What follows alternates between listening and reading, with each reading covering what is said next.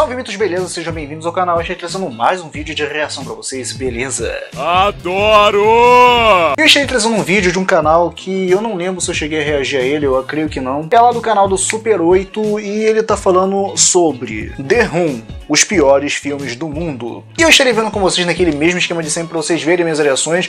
Ontem eu tava vendo um, um vídeo desse canal aqui que eu achei muito engraçado e eu, pes eu pesquisei aqui nos comentários para ver se alguém tava pedindo algum react desse canal e percebi que é, teve alguns pedidos desse canal aqui, no caso para esse vídeo, entre outros também mas esse daqui foi o que teve mais. E cara, ele é muito engraçado da forma dele contar a, a forma dos filmes, se é engraçado, se é ruim, se. Enfim, o, o, que eu vi ontem foi muito engraçado, que foi daquela praia que, que a pessoa pisa na areia e a pessoa morre, tá ligado? Eu achei muito hilário da forma que ele mostrou, cara, muito maneiro. Então eu estarei vendo isso daqui com vocês naquele mesmo esquema de sempre para vocês verem minhas reações. Uhul! Então já vai deixando seu like bem esperto para ajudar o negão, se inscreva no canal, ative o sininho, se você é novo ou nova no canal, sejam bem-vindos. Ai que delícia! E Reiter, a poderosa Black Shark, está ali para você beijar à vontade, continuem aí sentadinhos me dando visualizações e você já sabe o esquema do canal, é só você nadar com o tubarão. Vem brincar comigo, vem! então sem enrolação, sem demora, bora para o que interessa, direto para o react, é claro, depois da vinheta. Valeu!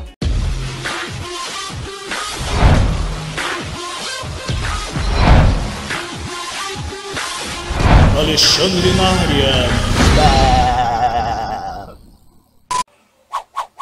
Oh, hum. hi Mark. Oh, hi Lisa. Eu sou Otávio Gás, esse aqui é o Super 8 e hoje a Pataquada tá de volta com um filme produzido com muita, muita vontade, muito dinheiro do bolso do seu realizador, mas talento e técnica que são bons mas esse filme é tão ruim, mas tão ruim que virou cult e fizeram um filme sobre ele. Mas calminha aí, uma coisa de cada vez. Depois a gente chega no depois, porque hoje é dia hum. dos piores filmes do mundo. Com o emocionante drama de um deficiente mental que é feito de trouxa por todo mundo à sua volta. Um marmanjo velho besta que não abre a boca para falar, mas solta uma risadinha constrangedora fora de hora a cada segundo. Mesmo. Pera, só mais um pouquinho. Sustenta um moleque esquisito que parece com um Tarantino e uma paquita psicopata que adora lhe pôr um chapéu de touro com seu melhor amigo. Enquanto isso, eles conversam água, brincam de passar bolinha pra lá e pra cá e o filme entra num looping infinito e não sai do lugar. The Room é, é, um clássico independente que deve ter custado uns 6 milhões de dólares do bolso do seu realizador, que é no mínimo bem esquisito, mas isso não o intimidou a escrever, dirigir e estrelar essa grande pérola. Mas você tá hum. aqui para saber porque esse é um dos piores filmes do mundo. Pois bem, o Eu filme já começa com filme. planos da paisagem de São Francisco porque eles não pensaram em nada melhor para mostrar. E então vemos o nosso herói que passa num bonde dando uma olhadinha pra câmera como quem não quer nada para saber se ela tava filmando mesmo. Então nosso belo varão chega em casa e encontra sua ex-futura quase esposa fazendo precisamente nenhuma. Algo que ela executa com primazia durante metade do filme. Na outra metade, ela é uma ferrenha adepta à fuquelância. Então o garanhão entra em cena com um ar de Que merda eu tô fazendo aqui mesmo que eu seja o culpado dessa desgraça? Ele dá um presente pra mulherzinha que pergunta What is it? Just a little something. Peraí, peraí, peraí, peraí. Ele não disse isso não. De onde é que saiu essa voz se ele não abrir a boca? tá bom. A mulher prova a roupinha de presente, então eis que entra o Tarantino Jr. no melhor estilo sitcom, em que a porta sempre fica aberta e privacidade não existe, e ele não para de ser impertinente e bem estranho. I'm going to take a nap. Can I go upstairs too? Mal, quer? E ele vai atrás. Mano, qual é desse moleque? Então eles brincam de guerrinha de travesseiro. Que chiadinho foi esse? E o moleque se joga no meio. Mas que Não é. Então finalmente eles expulsam o Tarantino assim? Júnior pra ficar dançando. Ah, finalmente vai começar a sacanagem. Não sem antes darem um monte de sorrisinho esquisito e gemida fora de hora. Para, cara! E aqui ele ficou preso na própria camisa. E depois deu mais um risinho. ok, vamos acelerar. Ele tá bimbando no umbigo dela? Maluco com suas taras, né? E depois de uma cena de sexo mais furreca do que aqueles filmes de cine privê, somos presenteados com essa bela visão de uma bunda mushiba. Porque era tudo que eu precisava. Se eu não vejo um tamborim masculino mushibinho desse, eu não durmo direito. E depois dessa visão do inferno, a mãe da mina chega e olha só que coisa vandárdiga. I don't love him! Mas ué. Como assim, gente? Por quê? So boring. Não. Pô, o cara tão Para com legal. isso. Então o roteiro nos dá uma overdose de diálogos expositivos pra deixar tudo bem desenhadinho pra que a gente não tenha Ah. nenhuma dúvida. Well, you've known him for over five years. You're engaged. You said you loved him. He provides for you. You can't support yourself. Now, he bought you a car. He plans Oh. to buy you a house. And he's getting a promotion. Ele abriu o mar vermelho, ele construiu uma arca e botou os bichos dentro. E claro, a mulher ignora os conselhos da mãe e logo liga toda faceira pro pé de pano bonitão que aparece lá com a cara mais sonsa do que político citado na delação premiada. What's going on here? Então não sabe. Mas ele não tá muito interessado por um detalhe que eu esqueci de mencionar. Johnny's my Quase que eu cuspo água aqui, cara, na moral. Ai. Vamos lá. best friend. Mas ela insiste porque quem não chora não mama. Ou melhor, no caso dela, quem não chora não é mamada. Enfim. I need you to make love to me. Everything's gonna be fine. I promise. O que isso tem a ver com o que ela disse? Notem que ele reluta bastante, mas é só eles levantarem que ele cede pros encantos da moça. Porque se você não sabia, é assim que funciona no mundo. Se a pessoa não tá afim, levantem e tente de novo. É tiro e queda. E lá vai ela copular de novo. Pô, mané. Mas, gente, nem começou, ele já tá gemendo. E dois minutos de enrolação depois, Johnny's my best friend. ó, baita amigão você, hein? Enquanto isso, o coitado do Johnny tá por aí falando com cachorros aleatórios. Hi, doggy. O povo continua chegando na casa dela, o Tarantino Júnior continua esquisito, o Bananão continua sem abrir a boca pra falar e sendo mal dublado por ele mesmo. I don't drink, you know that. Que medo, cara. I'm tired, I'm wasted. I love you, darling. 26 minutos de filme e lá vai a nova loira do Chan Funfá de novo. Isso porque Pô. ela nem gosta mais do cara. Peraí, são os mesmos takes da primeira cena de Fodelância? E chegou mais um dia e no meio de uma conversa de nada sobre coisa nenhuma surge um diálogo mais surreal da história do cinema que você vai ver essa semana. I definitely have breast cancer. Elas falam sobre isso como se fosse uma enxaqueca e depois ninguém mais toca no assunto. O que, que tá acontecendo? Aí depois, do nada, entra um casal na casa pra comer chocolate e fazer nheco-nheco também. Na casa Mas dos outros. What? As pessoas Como entram, assim, transam, cara? vão embora e foda-se. Fica, isso não era um drama? Por que, que esse cara tá agindo como um débil mental? How many people come in and out of this apartment every day? Finalmente alguém com bom senso. Mas quer saber só de uma coisa? Sabe o que tá faltando nesse filme? Uma cena de ação. Pois bem, não seja por isso. Apenas ignore o chroma key cagado e se prepare para uma cena tensa em que os grandes atores proferem profundos diálogos como Cadê a minha grana? Está chegando? Cadê a merda da minha grana? Eu não tenho. um resgate mirabuloso, uma arguição com diálogos super complexos como I owe him some money. What kind of money? Porque se você não sabe, tem vários tipos. Tem o de compra, o de venda e o do banco imobiliário. E gratuitamente, como essa pataquada começou, ela também vai embora e também é esquecida. Por quê? Porque o filme Ai, tem algo ai. melhor pra falar. Como o fato da Paquita tá com fogo na... Você entendeu. Ô, I just saw you. What are you talking about? O cara é mais grosso do que cano de passar bosta. E eis que chegamos na cena mais emblemática do filme, que você pode assistir em looping e não vai cansar. O nosso herói tá bolado e surge repentinamente no telhado reclamando de algo. I did not hit her. It's not true. It's bullshit. I did not hit her. I did not. Oh, hi, Mark. Ai, merece replay, gente. I did not hit her. It's not true. It's bullshit. I did not hit her. I did not. I did not. E como se já tivesse esquecido. Oh, que interpretação. Ah. Esplendidacional. Sério, esse Nossa. cara é um ícone. Aí ele chega lá e troca uma ideia com um amigo. Sim, aquele mesmo que tá brincando de metelância com a noiva dele. Então o cara conta uma história de uma mulher que foi espancada e o Tommy Wiseau reage assim. What a story, Mark. O que que tá acontecendo com esse cara? A mulher foi espancada. Hahaha, boa história, Mark. O cara tá completamente desregulado. Então eles têm essa discussão muito bem coreografada em que o Johnny toma a bola do Mark enquanto insiste que ele conte um segredo. Mark não conta, vai embora e de repente o Johnny também não tá mais interessado. Well, whatever. Então tá, né? O Tarantino Jr. aparece, esbarra no Mark e pergunta ao Johnny por que, que ele tá tão bolado. He's cranky today.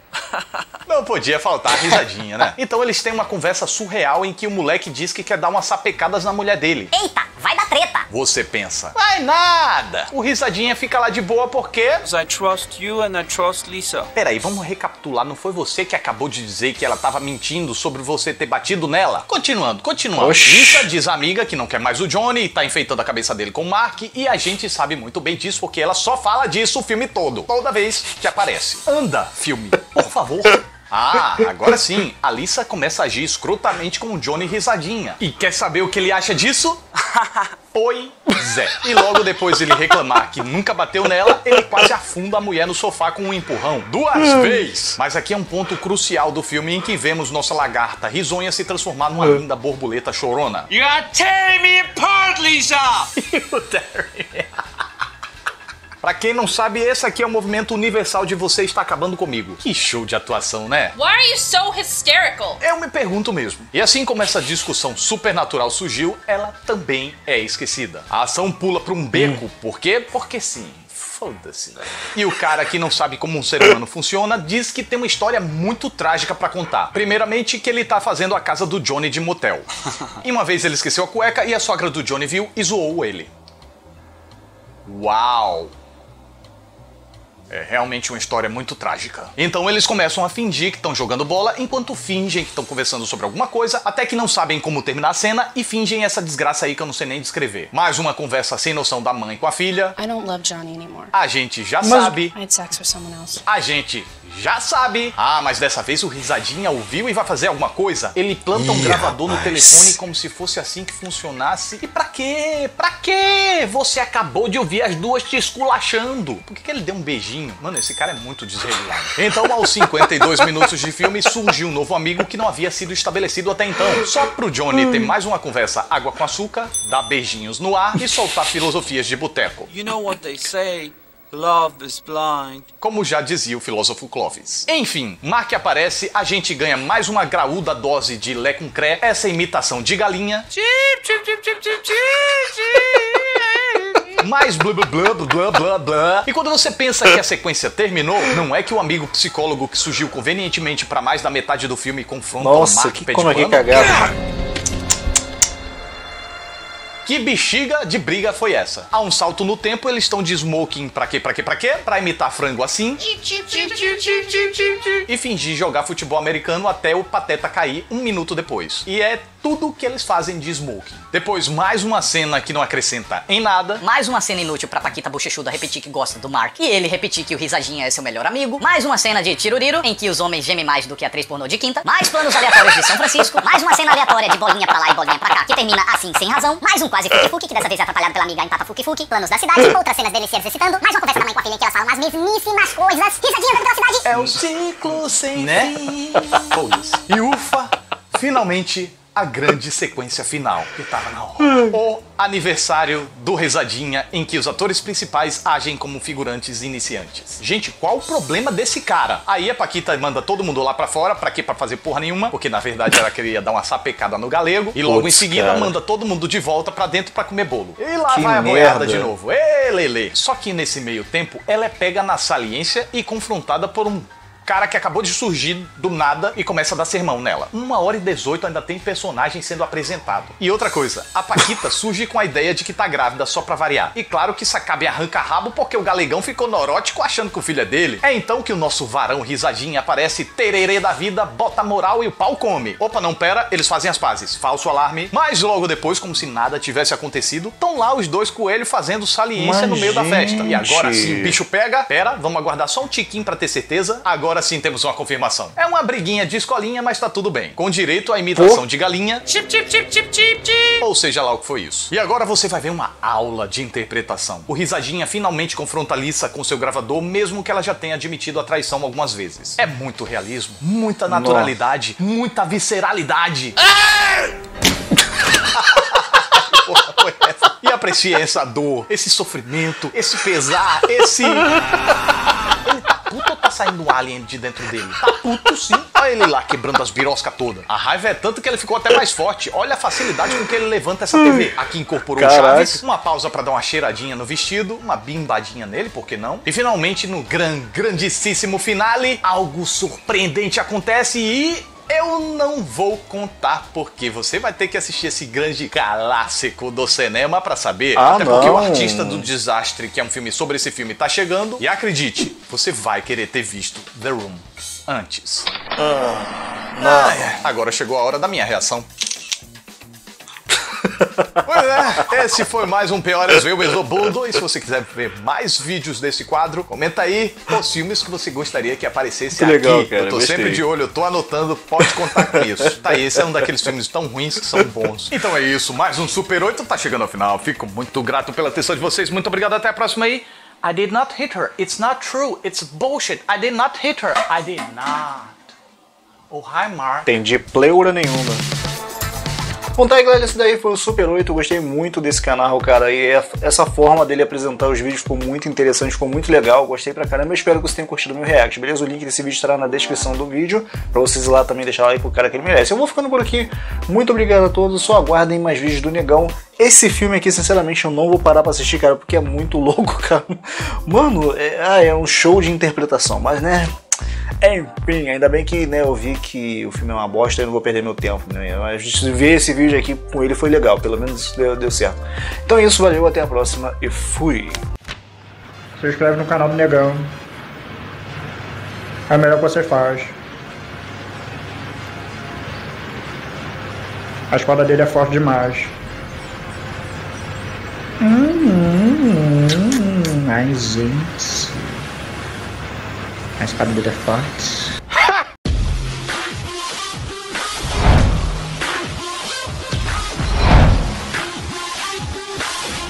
Alexandre na área.